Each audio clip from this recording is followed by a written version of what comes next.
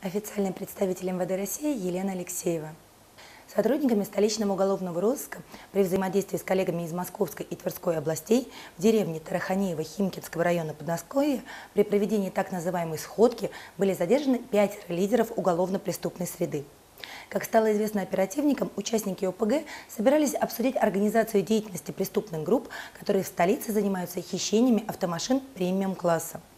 Криминальным авторитетам должны были предоставить новейшую разработку удлинителя радиосигнала, предназначенную для передачи на расстоянии кодов электронных ключей, именуемая в преступных сообществах «длинная рука» или «удочка». В ходе личного досмотра у одного из задержанных было изъято подобное устройство. Его направили на экспертизу.